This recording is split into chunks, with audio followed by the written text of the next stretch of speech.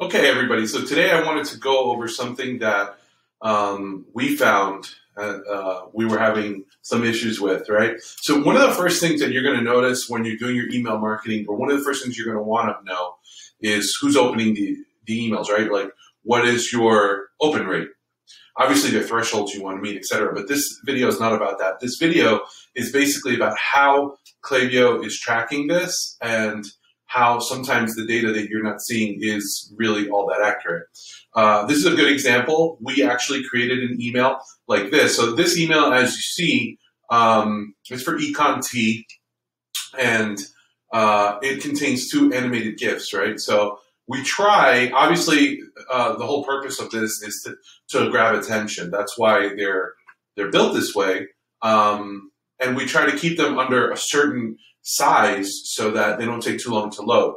But what ends up happening is that after they go over a certain size, um, the email client, uh, say Gmail, uh, for example, um, will clip it and won't show you the rest of the email when the email is open.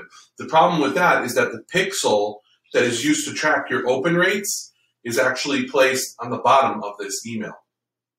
So um, rather than uh, reworking the entire email, but sometimes you, you know, it's still advisable to make it as small as possible and test for clipping. We do do that as well.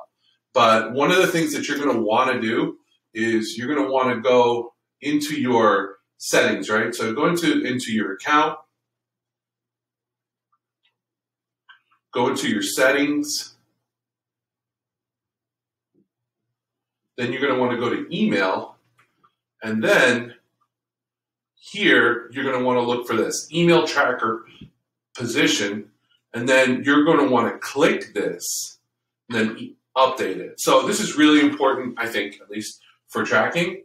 Um, definitely, definitely, definitely take a look at this. We have made it a standard practice. So I hope that you found this helpful. If you have any questions about Klaviyo, about email marketing in general, SMS marketing, uh, or Facebook ads or Google ads, please feel free to reach out. Thanks.